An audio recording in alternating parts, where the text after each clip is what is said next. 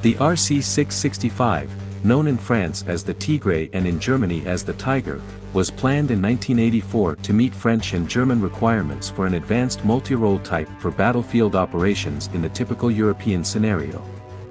After much deliberation Eurocopter received a contract to build five prototype-slash-development helicopters in November 1989.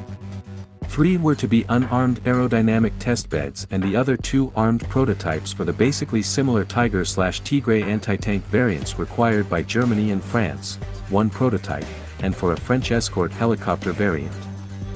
The basic type is of typical attack helicopter configuration with an airframe built largely of composite materials and optimized for high survivability over the modern battlefield. The first prototype made its maiden flight in April 1991. Three versions are being developed in two basic layouts.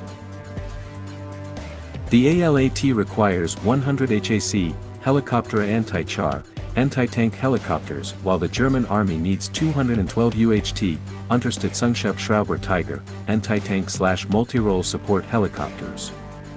Both HAC and UHT share a common mast-mounted TV slash forward-looking infrared slash laser rangefinder sighting system for the gunner, nose-mounted forward-looking infrared for the pilot and Trigat missile armament. The UHT may later be fitted with a turret-mounted 30mm Mauser cannon, the Tigre HAP, Helicopter d'appui et de protection, is being developed for the French Army, which requires 115 such examples for the escort and fire support roles. The HAP carries a chin turret-mounted 30mm Giat M30-781B cannon, Strix roof-mounted sight plus armament of up to 68 SNEB 68mm rockets and Mistral air-to-air -air missiles. In June 1999 both French and German governments signed a production contract for an initial batch of 160 helicopters.